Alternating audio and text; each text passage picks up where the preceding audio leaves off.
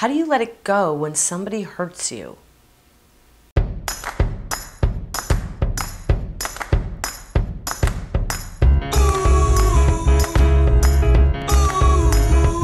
Hey, I'm best-selling author Cheryl Hunter.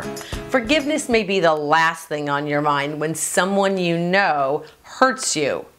Anger is a totally natural response to being wounded by somebody, but only we know when we've crossed the line between being justified and just fried. So, how do you get beyond it? Here are some ways. Number one, name your pain. Hit the pause button on the instant continual replay of what happened and rather just feel what you're feeling. If you can name that which you're feeling, it's the first step to eventually being able to forgive it. Number two, switch positions.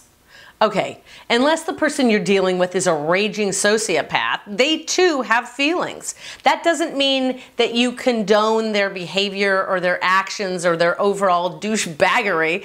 However, standing in the place that considers that they too are toting around their own pain might give you a little space as you try to forgive them.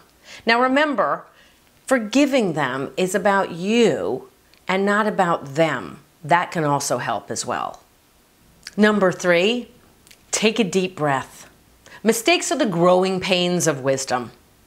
And if you come from the standpoint that, hey, all of us are out here just doing our best, maybe the person doesn't need to be forgiven as much as they just need to be accepted. Maybe the first step to forgiveness is really realizing that we're none of us perfect and that there really isn't as much to be forgiven as there is to just be accepted. The truth about anger is it's oftentimes nothing more than a refusal to heal. Ultimately, forgiveness comes down to responsibility. Not responsibility for causing the mess in the first place, but re claiming responsibility to be the person who cleans it up for good.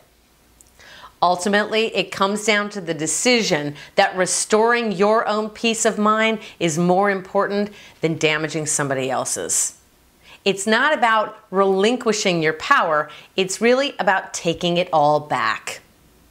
I would love to hear from you.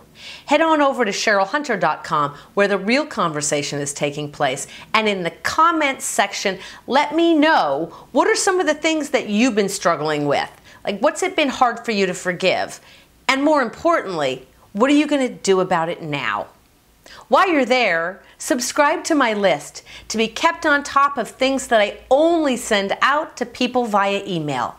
Connect with me on social media, and if you like this video, give it a thumbs up, subscribe to my channel, and send it to your friends and family. Thank you for being here. Have your life make a difference.